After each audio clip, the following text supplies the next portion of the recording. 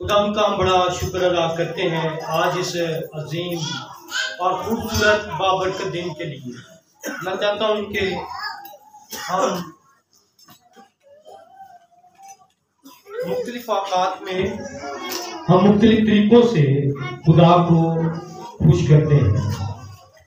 आज इस आयत की तरफ़ आपको लेकर जाऊँगा। ये आयत नहायत ही छोटी है और क्रिसमस के ताल्लुक से ये छोटी तो है, लेकिन हमारे लिए बड़ी काम की है, हमारे लिए बड़ी बरकत की आयत है। आए, मती की अजीब उसका दूसरा बाप और दसवीं आयत को आज जो मेरा मौजूद है, वो ये है नहायत खुश खुदा के कलाम में इस तरह से लिखा है दसवीं आयत के अंदर खुदा का कलाम बयान करता है, वो सितारे को देखकर नहायत खुश हुए। आप किन किन चीज़ों को देखकर खुश होते हैं? हो सकता है आप अपने बच्चों को देखकर खुश हो। जैसे जैसे बढ़ रहे हैं, खूबसूरत लगते हैं, वो छोटी छोटी शरारतें करते हैं, वो जिस तरह से मुस्कुराते हैं, खेलते हैं, आप खुश होते हैं। कभी कभार हम ये देखते हैं कि जब कुछ नई चीज़ हमारे घर में आती है। या नया पकवान हमारे दस्तरखान पर आता है तो हम खुश होते हैं। लेकिन दुनिया के अंदर यह खुशी भी एक बहुत बड़ी खुदा की तरफ़ से हकीकत और खुदा की तरफ़ से बरकत है। जो रूल कुछ में मामूल रहते हैं, उनके बारे में खुदा का कलाम ये बयान करता है कि उनको पाक रूह एक बहुत खूबसूरत गिफ्ट देता है। और उस फलों के अंदर एक खुशी का फल भी मौजूद है। मोहब्बत, खुशी का फल, ये दोनों आपस में जुड़े हुए हैं। इनके अंदर भी यीशु मसीह के साथ, पैदा हुए यीशु के साथ, इस कदर उनकी मोहब्बत नज़र आती है। जब आप मत्ती की अजीब, उसके दूसरे बाप की पहली आयत को पढ़ेंगे तो यहाँ पर लिखा है, कई मजूसी खुदा का कलाम बयान करता है कि कई मजूसी यीशु मसीह की तलाश में जो पैदा हुआ मसीह है, उसकी तलाश में निकले हैं। लेकिन तादाद यहाँ पर बयान नहीं की गई। मगर तीन लोग ऐसे हैं जो यहाँ पर पहुँच जाते हैं और खुदा यसु मसीह को देख पाते हैं।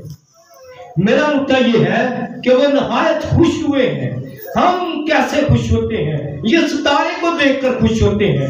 ये अपनी खुशी का इजहार मुख्तलिफ़ तरीकों से तो करते हैं। आज हम कैसे खुदा की शुक्रगुजारी करते हैं और कैसे खुश होते हैं? मेरे अजीजों आज हमारे लिए ये क्रिसमस मनाना इसलिए भी ज़रूरी है, खुशी के साथ मनाना ज़रूरी है, क्योंकि खुदा का कलाम ये बयान करता है, खुदा की कलाम की ये सदाकत हमारे पास मौजूद है कि हम नहायत खुशी के साथ ये सारा काम कर सकें। मैं देख रहा था पिछले दिनों, जब मैं यहाँ पर चर्च में आया तो कुछ नौजवान बाहर चरनी तैयार कर रहे थे। और कुछ नौजवान जो खूबसूरत पहाड़ी आपने देखी बाहर चर्च के इस कोने के अंदर, ये बड़ी खूबसूरत है। और ये मैं देख रहा था रात को तो मुझे ख्याल आ रहा था कि शायद इन्होंने ये आइडिया पेश किया है कि यरूशलेम में ऐसी पहाड़ियाँ और ऐसा इलाका होगा जिसका इमेज देकर हमें एक खुशी और मसरत हासिल होती है। मेरे जो, ये मजूसी जो मशरक से निकले थे, हम सब मशरकी लोग हैं। कौन से एरिए के लोग हैं? हम सब मशरक के रहने वाले लोग हैं। हमारे ही वो भाई हैं जो ये सोची की पैदाइश के दिन वाले बोते पर वहाँ पर पहुँचे और वहाँ पर पहुंचकर उन्होंने नहायत खुशी का इजहार किया। ये तो सितारे की मदद से, सितारे की रोशनी की रहनुमाई में वहाँ पर पहुँचे। लेकिन आज भी एक रोशनी हमारे पास मौजूद है। एक रोशनी जिसकी लोकेशन में हम खुदा तक पहुँच सकते हैं। उस पैदा हुए मसीह तक हमारी रसाई मुमकिन हो सकती है। हमें कोई किराया खर्च नहीं करना पड़ेगा। हमें कोई पैसा खर्च नहीं करने पड़ेगा। हमें कोई ट्रैवल नहीं करना पड़ेगा। वो रोशनी क्या है? वो रोशनी खुदा का ज़िंदा कलाम है। मुकल दाऊद फरमाते हैं, तेरा कलाम मेरे कदमों के लिए चिराग और मेरी राह के लिए रोशनी है। सितारे ने इन मजूसियों की रोशनी की रहनुमाई में ये पहुँच जाते हैं। मगर रस्ते में जो रुकावटें आई मुश्किल आई, उनको परेशानियों का सामना करना पड़ा। उनका ज़िक्र कलाम मुकदस में कहीं नहीं किया गया। हो सकता है कई रात रहते हो तो वो पूछते हो कि हम एक सितारा देखा है। हम उस सितारे की और पैदा हुए मसीह की तलाश में हैं। वो सितारा हमें झंझोड़ता है, हमें परेशान नहीं करता, लेकिन हमें इतमान ज़रूर देता है। जो आसमान पर चमक रहा है, वो ये कहता है कि तुम हिम्मत ना हारो। ये रोशनी सितारे की उनको दर्श देती जा रही है कि तुमने अपनी हिम्मत बांधकर उस पैदा हुए मसीह को सजदा करना है। ये खुशी का मौका था। मेरे जो ये खुशी यहाँ पर थम नहीं जाती। ये सिर्फ़ एक ही मतन नहीं है, एक ही हवाला नहीं है। जब आप लुका की अजीब पढ़ते हैं तो यहाँ पर मजूसी तो ये बयान कर रहे हैं कि हम सितारे को देखकर नहायत खुश हुए हैं। नहायत का लफ्ज ये बयान करता है कि इनकी खुशी का बयान उनके अपने जमीर से कहीं बालातर था। वो बयान ज़िक्र नहीं कर पा रहे थे कि वो कितने एक्साइटेड हैं, कितने खुश हुए हैं। लेकिन फरिश्ते भी आसमान पर बड़े खुश थे।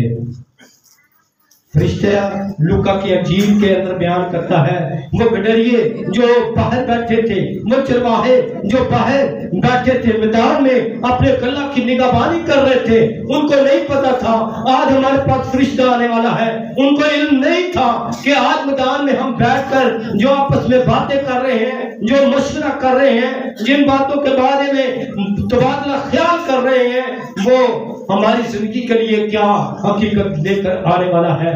तभी एक फरिश्ता आता है, उन पर नूर चमकता है और ये नूर उनकी ज़िंदगी के लिए सच्चाई बन जाता है। ये फरिश्ता उनको मुखातिब करता है कि डरो मत, मैं तुम्हें बड़ी खुशी की बुशारत देता हूँ। यहाँ पर मजूसी कहते हैं कि हम सितारे को देखकर नहायत खुश हुए हैं, लेकिन वहाँ पर फरिश्ता उनसे मुखातिब होता है चरवाहों से और कहता है, मैं तुम्हें बड़ी खुशी की ब्रेकिंग न्यूज़ देता हूँ। क्या कहा? मैं तुम्हें ब्रेकिंग न्यूज़ देने वाला हूँ। और वो डर गए, वो घबरा गए कि ये इतनी बड़ी खबर देने के लिए आसमान से फरिश्ता उतरा है। शायद कोई इलाके का, वहाँ की मुकामी लोग अगर खबर देते तो शायद वो चरवाहे इस कदर तुजस्स और उनके अंदर हसरत और खुदावन यसु मसीह के पैदा होने की उस बड़ी कुदरत को जान ना पाते। लेकिन उनके ज़िंदगी के अंदर फरिश्ते ने काम किया। खुदा के कलाम ने काम किया। ये फरिश्ता खुदा के कहने पर आया है। ये फरिश्ता किसी शख्स के कहने पर, किसी शख्स के अरादे से नहीं आया, बल्कि आसमानी खुदा ने उसको भेजा है। और क्या कहा? जाकर इन चरवाहों से मुखातिब हो। इन चरवाहों को पैगाम दे दे और इस तरह से पैगाम दे दे कि मैं तुम्हें बड़ी खुशी की बिशारत देने के लिए आया हूँ। डरो मत। और वो बड़ी खुशी क्या थी कि आज दाऊद के शहर में तुम्हारे लिए मुन्नजी पैदा हुआ है। मुन्नजी वो है जो लोगों को गुनाहों से क्या करेगा? निजात देगा। और ये निजात मसीह यसु के वसीला से है। मजूसी सितारे को देखकर नहायत खुश हो रहे हैं। गडरिए फरिश्ते की आवाज़ सुनकर खुश हो रहे हैं। घबरा जाते हैं, लेकिन उनके अंदर खुशी भी है, क्योंकि फरिश्ते ने अब कह दिया है। फरिश्ते ने क्या कहा है? मैं तुम्हें बड़ी खुशी की बुशारत देता हूँ। लफ्ज खुशी, नहायत खुश होना। ये खुशी क्रिसमस हमें इन दोनों हवाला जात से बयान करती है कि हम क्यों मसीह की साल गिरा क्यों विलादत मसीह हम इतनी खुशी के साथ मनाते हैं, नए कपड़े पहनते हैं, हम इतना खर्चा कर लेते हैं, हम अपने घरों को सजा देते हैं। क्यों? क्योंकि भिडरियों ने मजूसियों ने पहली मरतबा ये खुशी का इजहार किया और यसु मसीह की विलादत पर खुशी करना हम सब मसीहों के लिए फ़र्ज़ है। आयन भी है खुदा की शरीयत भी हमारे ऊपर लागू होती है कि खुदा ने खुद अपने बेटे से जब वो दुनिया में खिदमत का काम कर रहे थे तो आसमान से ये आवाज़ आई कि ये मेरा प्यारा बेटा है और इससे मैं क्या हूँ? नाराज़ हूँ। बल्कि क्या कहा? मैं इससे खुश हूँ। और ये खुशी यसु के वसीला से मुझे भी मिली है, आपको भी मिली है। यसु के नाम के वसीला से आपको खुदा बरकत दे जोरदार यसु के नाम की। जलाल करिए उसकी शिकायत लिए उसकी शुक्रगुजारी के लिए कभी बेटा खुदा यीशु का हमें खुशी देता है। और मुकदस दाऊद खुदा की खुशी को जो अभी तक उसने यीशु मसीह के वसीला से हासिल नहीं की थी, लेकिन वो ये महसूस करता है कि खुदावन आसमान के खुदा की इबादत करने से हमें खुशी महसूस होती है। मुकदस दाऊद जबूर सौ में कहता है, खुशी से खुदा की क्या करो, इबादत करो। मेरे जो, अगर तो आप खुशी से अभी तक यीशु मसीह की बलादत नहीं मना रहे, आपके दिल में बोझ है, आपके दिल में अगर कोई बोझ से दबे हुए हैं, कोई रुकावट है तो आपके दिल में खुशी नहीं है तो मेरे जो खुशी से खुदावन जो है आपको बात करने की तफी अता फरमाता है। दूसरी बड़ी खूबसूरत और बड़ी बात जो एड साहब ने इस हवाले में पढ़ी है, उसकी तरफ़ भी आपकी तोजो चाहूँगा। खुदा का कलाम बयान करता है, और उस घर में पहुंचकर बच्चे को उसकी माँ मरियम के पास देखा और उसके आगे गिर कर सजा किया और अपने डिब्बे खोल कर। क्या लिखा है अपने डिब्बे खोल कर। इसका मतलब ये डिब्बे बंद थे। इसका क्या मतलब है? डिब्बे बंद थे। कैसी बेकरारी होगी उनकी। और दिल में कभी कभी वो अपने आप को झंझोड़ते होंगे। कब मिलेगा वो मसीह जिसके लिए हमने डिब्बे बंद किए हुए हैं? और इनका इरादा क्या है? ये मजूसी पूरे इरादे के साथ निकले हैं कि हम उस बादशाह से मिलेंगे, हम उस यहूदियों के बादशाह से जब मिलेंगे तो मैं अपना डिब्बा खोलूँगा और उसमें से सोना गुलाम यसूसी को पेश करूँगा। उस यहूदियों के बादशाह को जो इस दुनिया में आया है, जो सितारे ने मुझे रहनुमाई दी है, उस बच्चे के लिए मैं सोना पेश करूँगा। और उसके साथ ही दूसरे कहा होगा, मैं लुबान पेश करूँगा। उसने भी अपना पीता का डिब्बा नहीं खोला। जब वो अपने घर से निकले तो कई उलमाए कराम, असारे कदीमा के माहरीन ये कहते हैं कि इनको सफ़र करते करते दो साल तक लग गए। और फिर कहीं जाकर ये यीशु मसीह को सजदा और दीदार करने के काबिल हुए। क्यों? दो साल का ट्रैवल इतना आसान नहीं। दो साल तक उन्होंने डिब्बे को खोला ही नहीं है, बंद किया हुआ है। और जब यीशु मसीह को उसकी माँ मरियम के पास देखा तो खुदा का कलाम बयान करता है, वो नहायत खुश हुए हैं और अपने डिब्बे खोल कर खुदा यीशु मसीह को नजराने पेश किए हैं। कभी कभी हमने भी अपने दिल के डिब्बे बंद किए हुए हैं। आप सोच रहे होंगे, हमारे दिल में तो कोई डिब्बा नहीं है, लेकिन हमने दिल अपना ज़रूर बंद किया हुआ है। हमें अपने दिल के खजानों को खोलना है, हमें अपने दिल के डिब्बों को खोलना है हमारे दिल के खजाने के अंदर, हमारे दिल के इस डिब्बे के अंदर हो सकता है आपने खुदावन यसु मसीह के लिए कोई मन्नत रखी हो।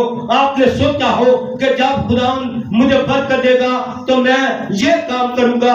हो सकता है वो अभी तक आपका काम नहीं हुआ, इसलिए आपने उस डिब्बे को बंद किया हुआ है। आपने उस बरकत को बंद किया हुआ है जो खुदा आपको देना चाहता है।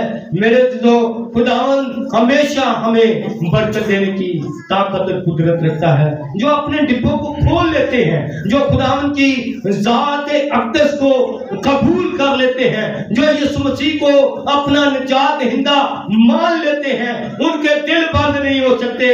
इस मजूसियों के डिब्बे तो बंद हो गए थे, लेकिन जब यीशु को देखा तो उनके डिब्बे और दिल यीशु मसीह के लिए खुल गए। मेरे दिलो जब आप भी यीशु मसीह को मिलते हैं, देखते हैं तो आपके दिल भी यीशु मसीह के लिए खुलने चाहिए।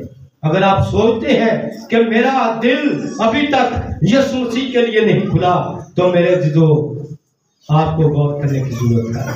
आपको इस बात के लिए अपने आप को तैयार करने की ज़रूरत है। मेरे जो जब आपके दिल खुल जाते हैं तो खुदा का रूल कुछ आपकी ज़िंदगी में काम करता है। जब आपके दिल खुल जाते हैं, खुदा की ताकत और कुदरत आपकी ज़िंदगी में काम करती है। तीसरी और बड़ी बात जो खुदा के कलाम में से हम देखते हैं, वो है बारहवीं आयत। खुदा के कलाम में लिखा है, जब आप बारहवीं आयत का मुताला करेंगे तो यहाँ पर लिखा है, और हैरत इसके पास, फिर न जाने की हदायत ख्वाब में पाकर क्या लिखा है? हैरोदीस के पास, फिर न जाने की हदायत पाकर कहाँ चले गए कहाँ चले गए जी? दूसरी तरफ़ से दूसरी राह से अपने मुल्क को रवाना हो गए। ये लफ्ज हदायत क्या है? इंस्ट्रक्शंस क्या है?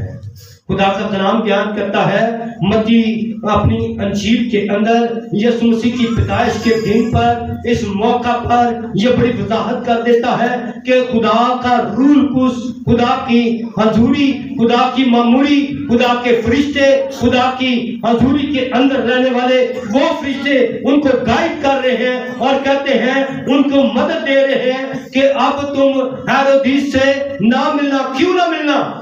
क्योंकि उसकी परमिशन से तो वो यीशु को आए थे यरूशलेम में सज्जा करने के लिए। अगर वो इस हुक्म को, इस लॉ को तोड़ देते अब बॉर्डर तो फड़े जाते हैं कई। क्यों पकड़े जाते हैं? क्योंकि उन्होंने इस मुल्क का कानून तोड़ा है। ये मजूसी अगर उस कानून को तोड़ते हैं तो इसकी सजा मौत थी।